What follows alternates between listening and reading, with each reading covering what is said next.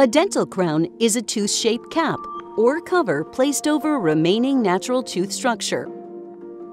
Dental crowns restore tooth's original shape, size, strength, and overall appearance. A crown is used to protect and restore a weak or broken tooth, oftentimes from decay.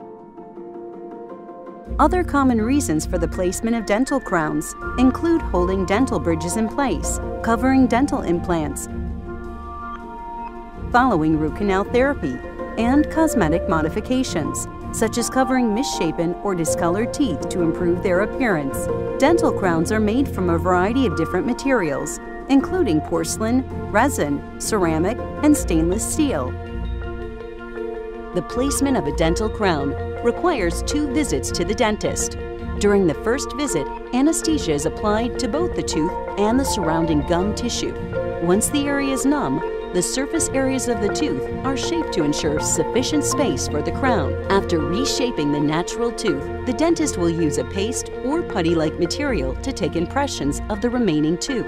These impressions are taken to aid in the construction of the dental crown by a certified dental laboratory to create a customized, permanent crown.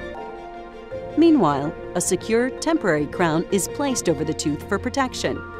Temporary crowns are typically made of acrylic, and they are held in place by a temporary cement. During the second visit to the dentist, the tooth and gum tissue are frequently numbed. The temporary crown is removed, and the customized, permanent dental crown is checked for fit. It is then cemented into place with a special adhesive. For more information on dental crowns, please do not hesitate to contact our friendly team today.